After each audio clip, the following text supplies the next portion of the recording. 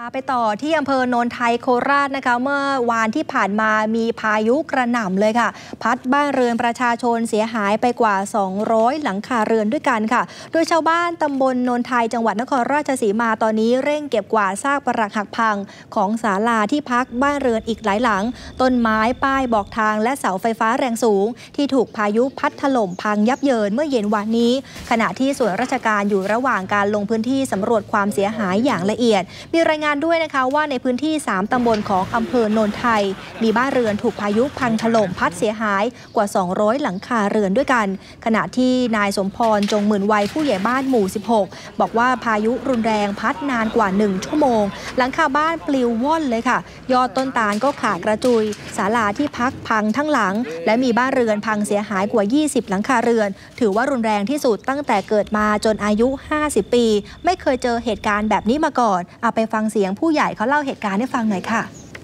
ลมมันจะหมุนแรงแบบทั้งลมทั้งฝนเลยฟาดแดงมาเลยครับ ที่นี่ พอสักพักหนึ่งเนี่ย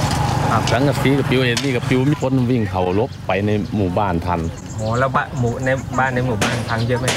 สิบหกหลังครับในหมู่บ้าน มีเสาไฟยังเสาไฟแรงสูงสามต้นครับที่ฮักโค่นอยู่ ถือว่าแรงไหมครับผู้ใหญ่แรงครับ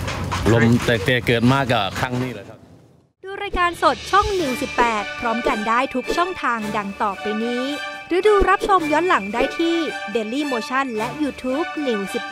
18 อย่าลืมกด Subscribe YouTube ช่อง New 18 เพื่อติดตามข่าวสารตลอด 24 ชั่วโมง